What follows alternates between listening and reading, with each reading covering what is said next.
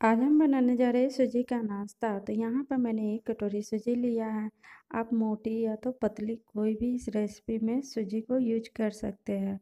यहाँ पर मैंने बारीक टुकड़ों में सब्ज़ी को काट लिया है। तो मैंने यहाँ शिमला मिर्च और ये टमाटर और धनिया पत्ता और यहाँ पर मैंने लहसुन को बारीक टुकड़ों में और यहाँ पर हरा मिर्च को बारीक टुकड़ों में काट लिया है। रेसिपी में आप मनपसंद अपना सब्ज़ी भी डाल सकते हैं। तो पैन में मैंने एक चम्मच तेल डाला है और इसमें थोड़ा सा मैंने जीरा डाला है। एक छोटी चम्मच मैंने राई डाला है। और इसे हम पकने देते हैं। तो राई और जीरा जो पक गया है तो इसमें हम लहसुन डालेंगे और हरा मिर्च डालेंगे। और इसे हम मिला लेते हैं और इसे भी हम पकने देते हैं एक मिनट तक ला तो यहाँ पर ये लहसुन और हरा मिर्च जो अच्छे से भुंजा गया है, तब हम इसमें शिमला मिर्च डालेंगे। मैंने एक शिमला मिर्च को बारीक टुकड़ों में काट लिया है और इसमें मैंने टमाटर डाला है और इसे हम अच्छे से मिला लेते हैं दो मिनट तक। तो यहाँ पर मैंने अच्छे से मिला लिया है, दो मिनट हो गया है। तो इसमें हम छोटा चम्मच, एक चम्मच मैंने हल्दी डाला है और आधा चम्मच मैंने यहाँ जीरा गुलकी का पाउडर डाला और इसे अच्छे से हमने मिला लिया है।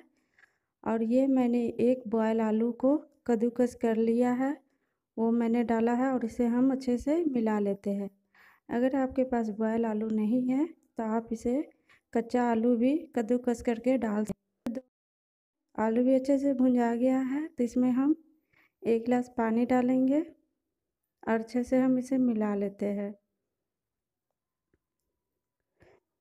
यहाँ पर मैंने आधा गिलास और पानी डाला है। टोटल मैंने डेढ़ गिलास पानी डाला है और स्वाद अनुसार मैंने यहाँ नमक डाला है।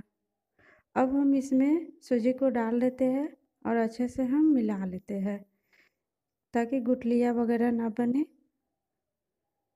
तो इसे बिल्कुल हमें डो की तरह तैयार करना है। तो बिल्कुल ये डो की तरह तैयार हो गया है।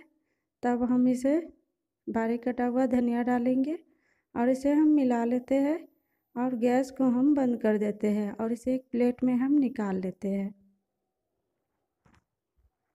तो यहाँ ये ठंडा हो गया है तो हम इसे एक प्लेट में निकाल लिए हैं और इसे अच्छे से फैला दिए हैं। और इसे हम चाकू से काट लेते हैं, आप चाहे तो कोई भी इसे सेप दे सकते हैं।